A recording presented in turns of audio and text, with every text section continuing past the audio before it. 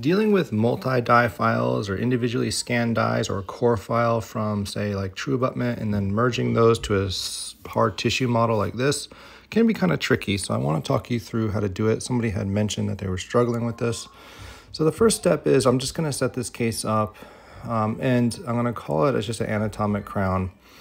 And I'm going to go ahead and just show you my settings here. This would be for milled Zerk. Made some changes like I normally do drag it, and then um, a Pontic here. Now, these are not going to be screw retained. This is going to be cement retained, so you would do it a little different if you're going to do screw retained. The next thing is you're going to bring in the merged core file um, with the antagonist. and we can see here the abutments are merged to the scan data, but the soft tissue really hides the margins, making margination quite difficult. And so what you need to do first is load generic visualization mesh and load first uh, one of the abutments and then the other abutment and hit yes when it asks you for orientation. So now we just have these generic meshes merged. And we're going to save that out as a single STL file and you're going to use original coordinate system.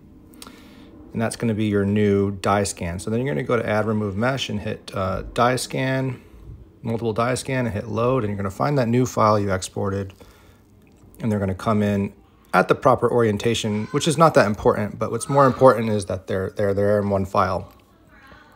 So then what you're going to do is go to the wizard mode, hit next, and the first thing in wizard is going to ask you to pin the multi-die scan to the um, the merged scan. So basically hold control on your keyboard and click multiple points. First, figure out what's lingual, what's buccal, and that could be confusing. So I'm going to go back to my original generic visualization meshes and turn those on um, and make sure they're at the proper rotation. Um, there we go, we're good to go there. And so I'm gonna turn back on my hard tissue model, hold control and click multiple spots.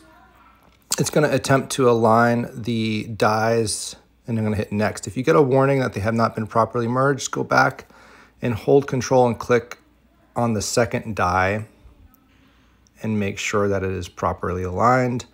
And then when you hit next, it's now going to show the model with um, kind of rips in the tissue around the die.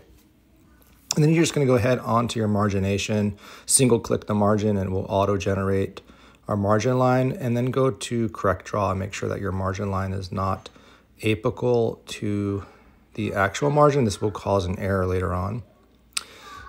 And then you're going to also do that same thing with the next die. Just single click the margin and then go to correct draw and make sure that you're not anywhere apical to that um, natural abutment margin line.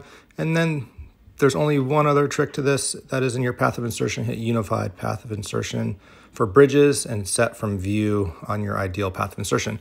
Anyway, I hope this helps you guys understand how to load in individual dies and then merge them with your scans.